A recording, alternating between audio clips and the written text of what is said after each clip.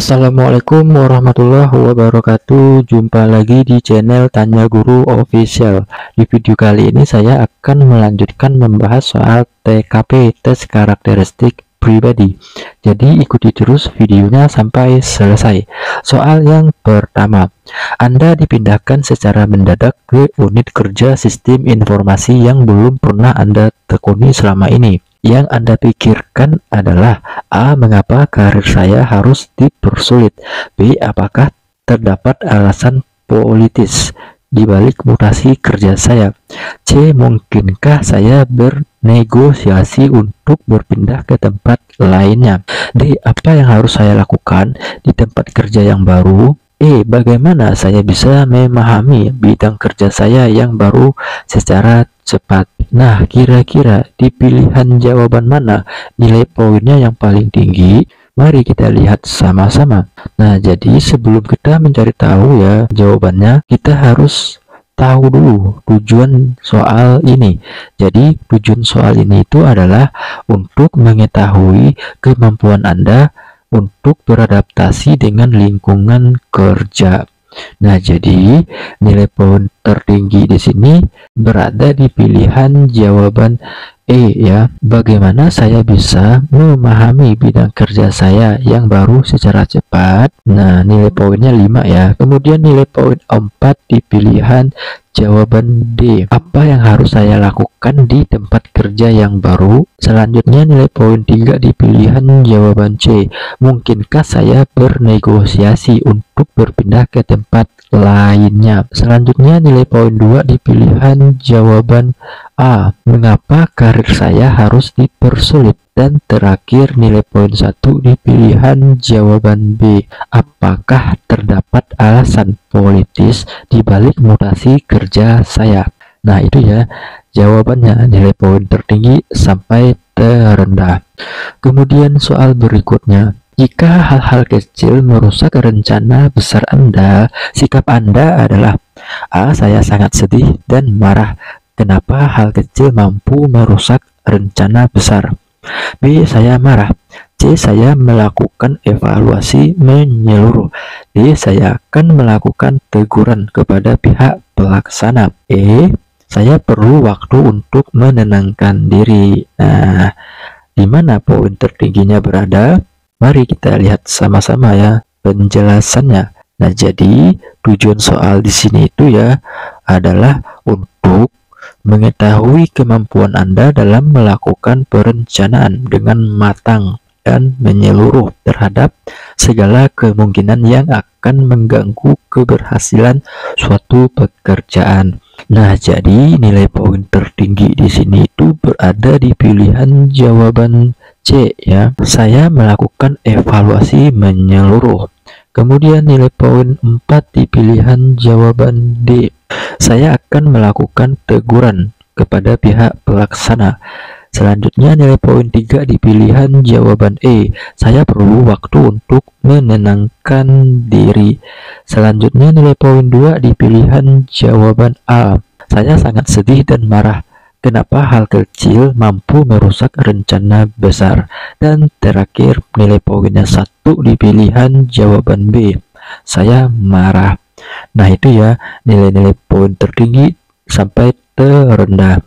Kita masuk ke soal berikutnya. Seorang oknum staf HRD perusahaan menawarkan bantuan kepada Anda untuk bisa diterima menjadi karyawan di tempat tersebut dengan cara memberikan dana dengan jumlah tertentu. Sikap Anda adalah A. Menerima tawaran tersebut sebab persaingan memang ketat B. Mempertimbangkan terlebih dahulu segala sesuatunya C. Mencoba terlebih dahulu dengan cara resmi sebelum melalui cara seperti itu D. Menolaknya karena saya ingin diterima dengan cara yang sah, bukan dengan suap, agar rezeki saya sebagai karyawan nanti tetap halal. E. Meminta pertimbangan orang tua dan pihak-pihak yang lebih berpengalaman. Nah, di pilihan jawaban mana nilai poinnya yang paling tinggi? Mari kita lihat sama-sama. Jadi, tujuan soal di sini itu ya untuk mengetahui sikap Anda dalam menjunjung tinggi nilai kejujuran. Jadi, nilai poin tertingginya itu berada di pilihan jawaban D ya, 5. Menolaknya karena saya ingin diterima dengan cara yang sah bukan dengan suap agar rezeki saya sebagai karyawan nanti tetap halal. Selanjutnya nilai poin 4 di pilihan jawaban E meminta pertimbangan orang tua dan pihak-pihak yang lebih berpengalaman. Kemudian nilai poin 3 di pilihan jawaban B mempertimbangkan terlebih dahulu segala sesuatunya Kemudian nilai poin 2 di pilihan jawaban C, mencoba terlebih dahulu dengan cara resmi sebelum melalui cara seperti itu. Dan terakhir nilai poin 1 di pilihan jawaban A, menerima tawaran tersebut sebab persaingan memang sangat ketat ya. Nah itu ya nilai-nilai poin tertinggi sampai ke terendah. Kemudian soal berikutnya Sebagian rekan kerja pulang 20 menit lebih awal dari jadwal yang seharusnya.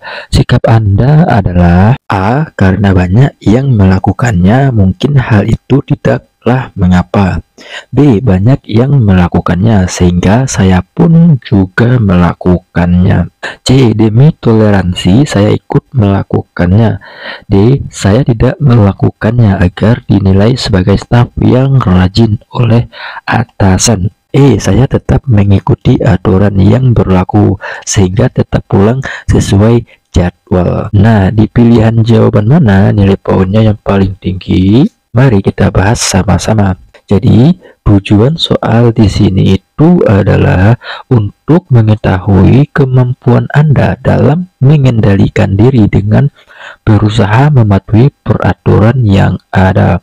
Jadi, nilai poin yang paling tinggi itu di pilihan jawaban E. Saya tetap mengikuti aturan yang berlaku sehingga tetap pulang sesuai jadwal. Itu ya nilai poinnya 5. Kemudian nilai poin 4 di pilihan jawaban D.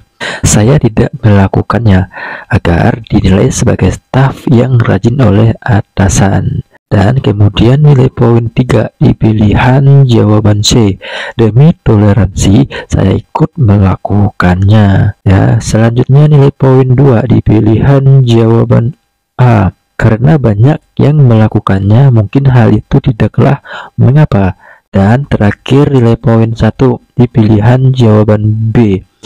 Banyak yang melakukannya sehingga saya pun juga melakukannya. Nah, itu ya nilai poin dari yang tertinggi sampai terendah. Kita lanjut ke soal terakhir.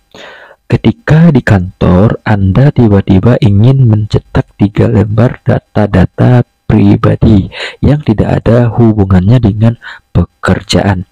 Menurut Anda adalah A. Maka saya langsung saja mencetak di kantor. B. Saya mencetak di kantor namun dengan memakai kertas saya sendiri.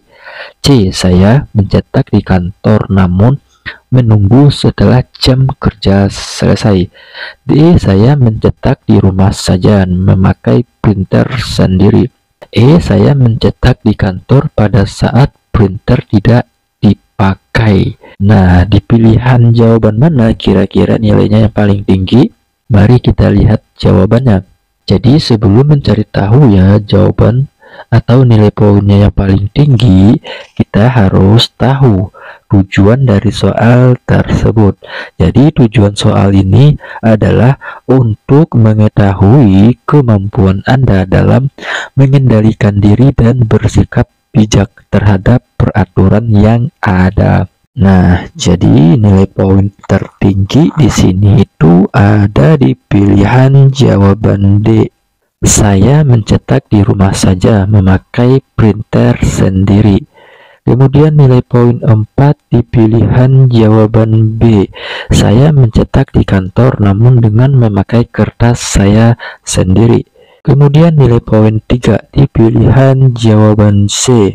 Saya mencetak di kantor, namun menunggu setelah jam kerja selesai. Selanjutnya nilai poin 2 di pilihan jawaban E. Saya mencetak di kantor pada saat printer tidak dipakai. Dan terakhir nilai poinnya satu di pilihan jawaban A. Maka saya langsung saja mencetak di kantor. Nah, itu ya jawabannya. Nilai-nilai poin dari terendah sampai tertinggi. Sekian pembahasan video saya dan saya akhiri. Assalamualaikum warahmatullahi wabarakatuh.